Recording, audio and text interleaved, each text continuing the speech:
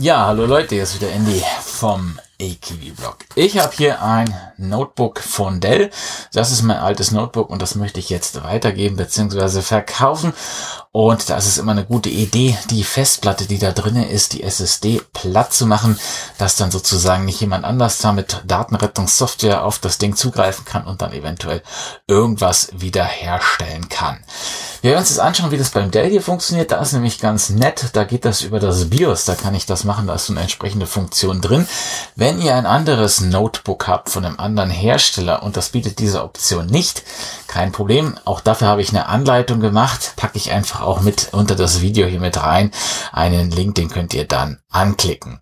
Wie gesagt, bei Dell ist das ganz schön. Da kann ich das über das BIOS initiieren. Das dauert auch nicht lange bei so einer SSD, weil da wird einfach so ein Löschbefehl an alle Speicherzellen geschickt und dann werden die sozusagen platt gemacht und das dauert dann weniger als eine Minute. Bei einer Festplatte ist es so, da müssen alle Datenbereiche einmal überschrieben werden mit Zufallsdaten oder eben Nullen, dass da nichts wiederhergestellt werden kann. Bei einer SSD, wie gesagt, da gibt es diesen speziellen Löschbefehl, der dann alles auf einmal löscht und danach kann dann auch nichts wiederhergestellt werden. Also auf jeden Fall sinnvoll, bevor ich das Ding irgendwie weitergebe, dass ich das mache, dass dann eben der Nachfolger dann nichts wiederherstellen kann mit Datenrettungssoftware, die, ja, die, die es auch kostenlos gibt. Also die kann man sich kostenlos runterladen, wenn man selber mal aus Versehen was gelöscht hat und die könnte man dann auch verwenden, um von der Festplatte beziehungsweise SSD hier etwas wiederherzustellen. Jetzt würde ich sagen, nicht, nicht lang rumreden, wir legen los.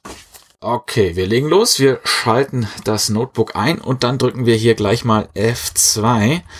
Damit kommen wir dann nämlich in das BIOS in UEFI. Da oben sehen wir es jetzt auch schon kurz war die Einblendung und dann sind wir hier auch schon drinnen. Falls ihr nicht schnell genug wart und Windows startet, einfach den Vorgang wiederholen. Wie gesagt, man muss F2 sehr, sehr flott drücken. Danach gehen wir hier auf Maintenance. Da haben wir das Ganze.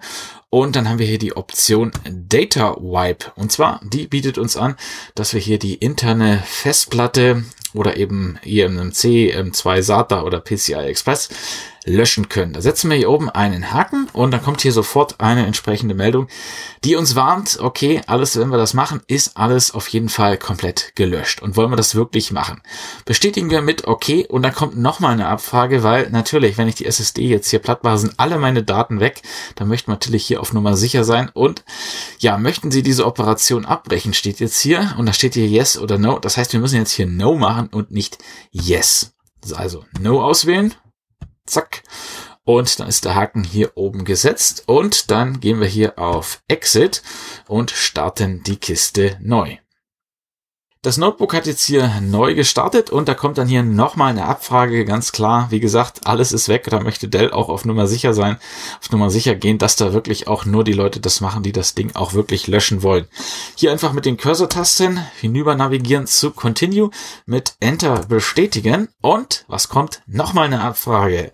Das heißt, sind wir wirklich, wirklich, wirklich, wirklich sicher und dann hier ebenfalls wieder mit Cursor-Taste rübergehen, auf Erase und mit Enter bestätigen und dann geht's auch schon los jetzt hier. Die SSD wird gelöscht.